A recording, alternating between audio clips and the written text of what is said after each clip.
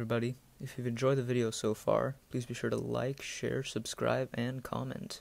It really means a lot to me and it helps the channel. Thank you.